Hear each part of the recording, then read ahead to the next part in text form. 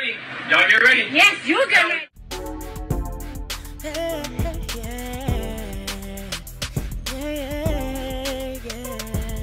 If you want the latest news in the streets, join us and tune in for the tea. Breaking news with integrity. So tell your friends and your family. It's the Lovely Tea TV show, bringing you good tea and good vibes. It's the Lovely Tea TV show. Be sure to share, like, and subscribe. Do not know, uh, Simone Biles recently got married. Now, what's so funny about this whole Simone, Simone Biles situation is that I followed some random girl who ended up being her best friend randomly. Um, y'all know I'm, I'm into like houses, flipping houses, um, you know, renovations. So I ran across this blog and there was this girl, she was renovating her laundry room and it was a, a black woman. So I was like, oh shit, cool.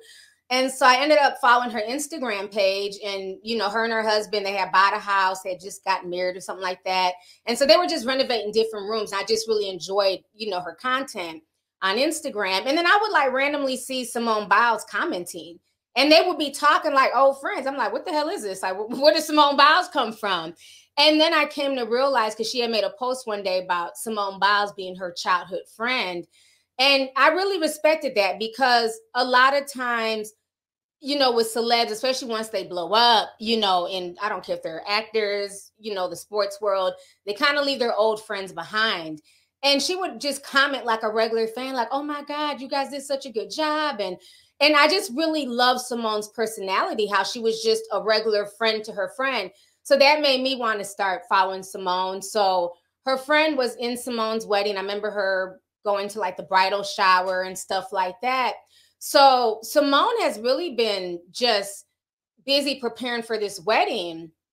And the guy that she's marrying, very handsome young man, big upgrade from that other man that looked like a lesbian or something people was saying. I, I don't know if he was a female, a man, or what, but this new her husband now, though, very handsome. He's uh, I think he played football or he plays football.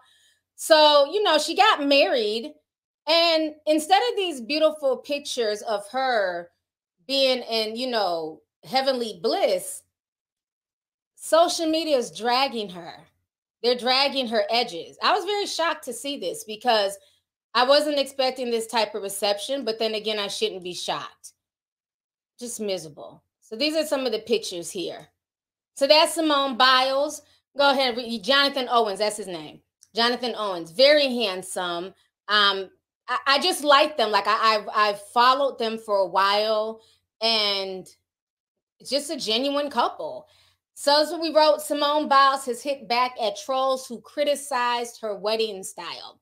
The Olympic gymnast, 26, married NFL star Jonathan Owens, 27, in Texas on Saturday, and later shared a series of images on her Instagram from the nuptials.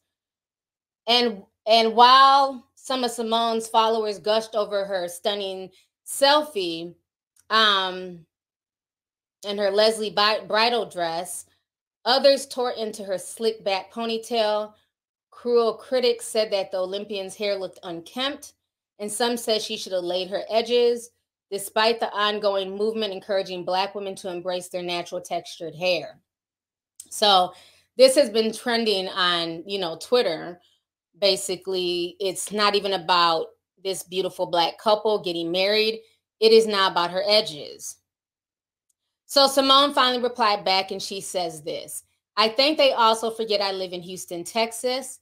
I sweat those out as soon as we step outside for pics but they can keep complaining. I don't care. I don't care. I don't care.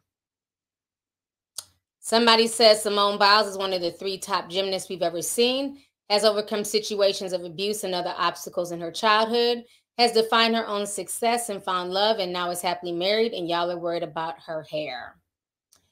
So, again, you know, this is why I don't take Shea Butter Twitter seriously.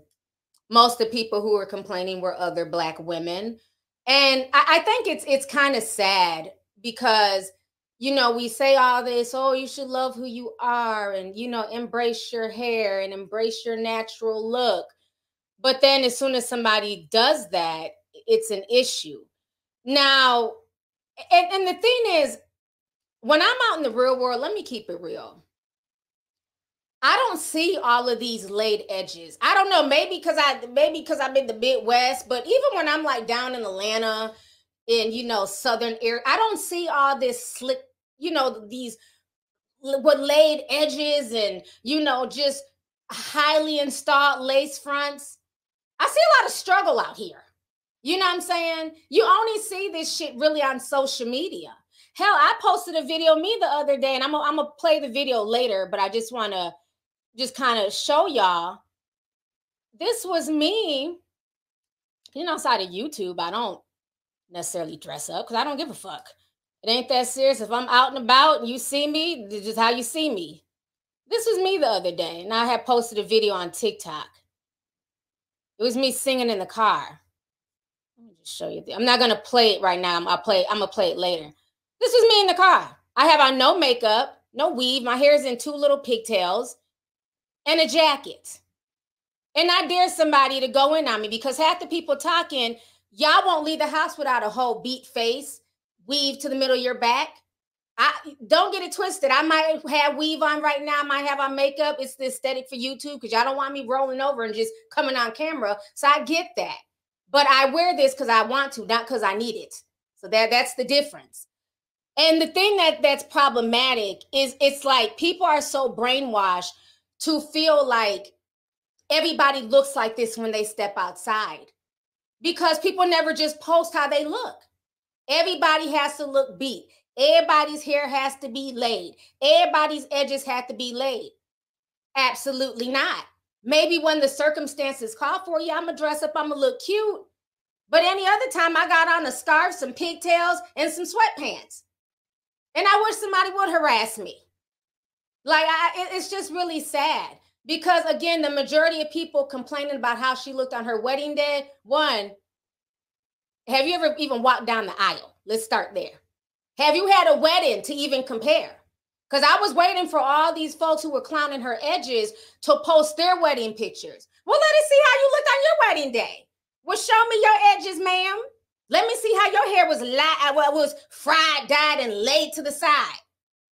I didn't see not now one wedding picture from any of these critics. I didn't see nobody say, well, hey, look how I looked on my wedding day. I searched. I didn't see them post their wedding pictures, but you're clowning this young black girl about her hair, as opposed to praising the fact that this man loves her for her. And he didn't wait 10 years. They weren't engaged 10 fucking years. They've been together about two years. He found that she was special. Because, like I said, when a man knows that that woman is the right person for him, you're not going to go through no 10 year engagement. If it's meant to be, it's going to be. Some of y'all been engaged since 1999 and the 2000s. She met her man, they fell in love, they walked down the aisle. So while y'all are judging her edges, she's actually married now. She's found love, she's happy. We say, oh, we want to see black love. And then when you see it, y'all want to clown it. But let that same black athlete have married a Kim Kardashian, y'all be crying. All they ever date is white women. These black athletes only date white women. He dates a sister, and y'all sit here and y'all clown her. Y'all are sick. Some y'all are very insecure. Very insecure. That's why y'all sit on social media all day trolling people, harassing folks. Y'all wish that y'all could obtain a level of what that girl has obtained over the past few years in the sport of gymnastics. That girl has broken records. She has had moves named after her, and she's very, very unproblematic. And y'all still chose to clown her. But again, why am I shocked? These are the same weirdos and losers who clowned Gabby Douglas all those years ago when she had her hair pulled back in a ponytail and people thought that her edges should have been laid. Meanwhile, the white girls who are gymnasts, they can have sloppy ponytails. Nobody judges them. But we will sit here and judge these young black girls who are making a name for themselves in the sport and clown them. And then and then don't understand why other races feel comfortable enough to clown and mimic us. Because y'all will sit there and praise Honey Boo Boo all day and the Woah Vickeys and whatever black girls, uh, whatever white girl is popping on TikTok with a black scent. Or y'all will praise them for having, you know, gel and and slick back edges, but clown your own. It's sad. Shea Butter Twitter should be ashamed of themselves. I was really disappointed in that. That that's why that young girl is viral right now. Not because she celebrated her wedding day, she's happy, she's in you know heavenly bliss, but because of her hair. And I'm glad she's not even feeding into it. She's like, I don't care. It's hot. It is what it is. You don't like it, don't look at my pictures. Keep, you know, keep scrolling. So I'm glad she's not letting it get to her, but it just it shows a lot of self. If you want the latest news in the streets, join us and tune in for the tea. Breaking news with integrity. So tell your friends and your family. It's the Lovely Tea TV show, bringing you good tea and good vibes. It's the Lovely Tea TV show. Be sure to share, like, and subscribe.